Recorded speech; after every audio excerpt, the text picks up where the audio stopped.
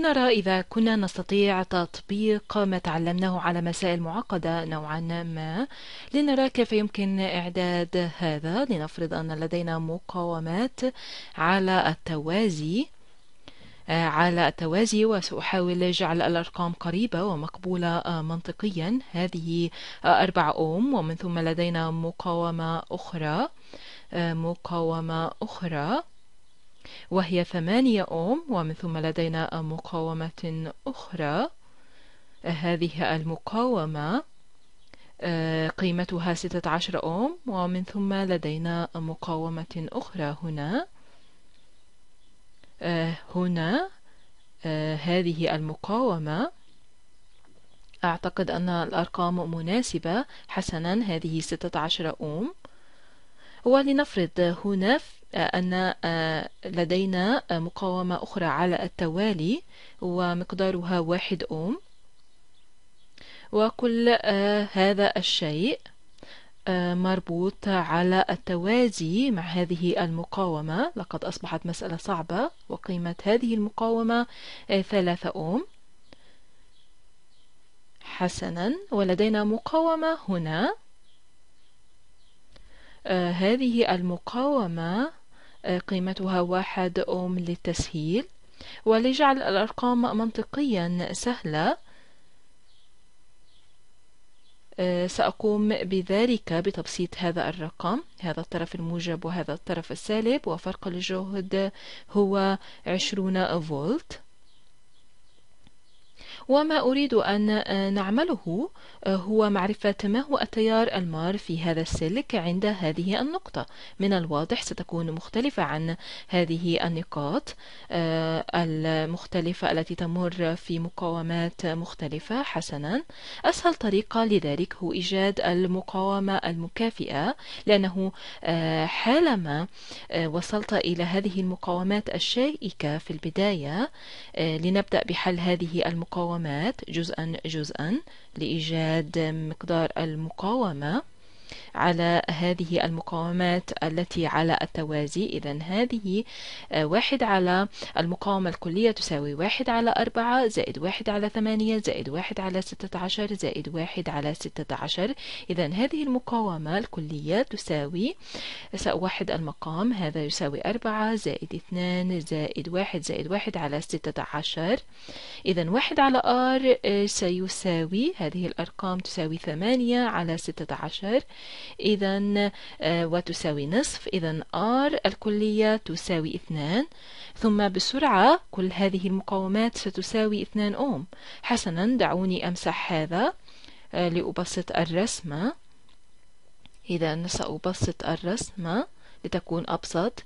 هذا هو كل شيء. هذا آه، كل هذه المقاومات تساوي اثنان أوم. هذه المقاومة إذا البديلة أو الكلية للمقاومات الأربعة التي كانت على التوازي وتساوي 2 أوم. أريد أن أضمن أن الدائرة آه، مغلقة. حسنا بسهولة. حولنا تلك الرسمة المعقدة إلى هذه الرسمة الأبسط نوعا ما. حسنا ما هي المقاومة المكافئة الآن لهذه المقاومات؟ إنهم على التوالي والمقاومات على التوالي نقوم بجمعهم ونحصل على آه، مقدار المقاومة الكلية وهي ستكون في هذه الحالة ثلاثة إذا لنمسح هذا ونبسط ذلك.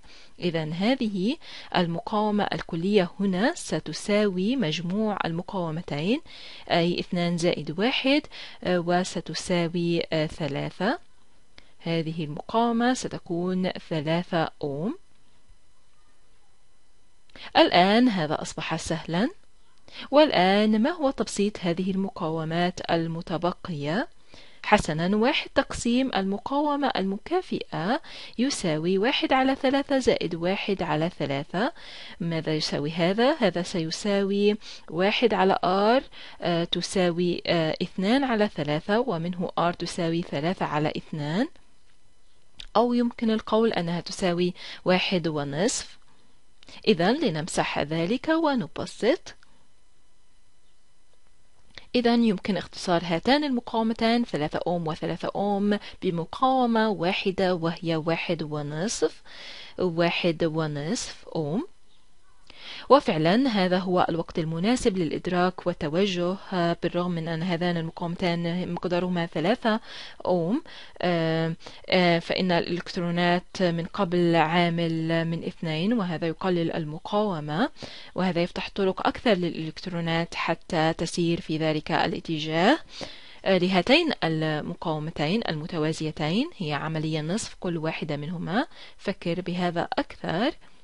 سيعطيك فكرة بما يدور آه، خلال هذا وكيف تتحرك الإلكترونات بالرغم آه، أنني سأقوم بفيديوهات مستقبلية عن هذا الموضوع آه، حسنا لقد جمعنا هاتان المقاومتين وأصبح لدينا مقاومة مقدارها واحد ونصف أوم.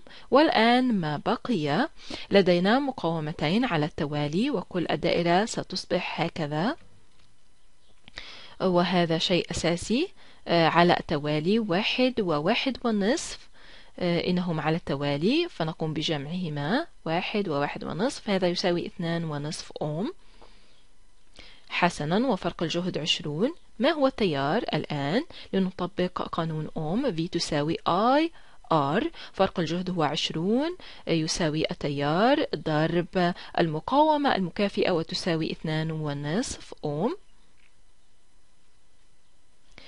إذا تساوي آه، خمسة على اثنان. إذا عشرون تساوي I ضرب خمسة على اثنان. وهذا يساوي I تساوي اثنان على خمسة ضرب عشرون. ويمكن كتابتها I تساوي ثمانية آه، أمبير. هذا جيد. بالرغم أنها كانت تبدو آه، مخيفة في البداية على كل حال إذا فهمت هذا يمكنك حل أي مسألة معقدة في الدوائر الكهربائية. أراكم في الفيديو القادم. إلى اللقاء.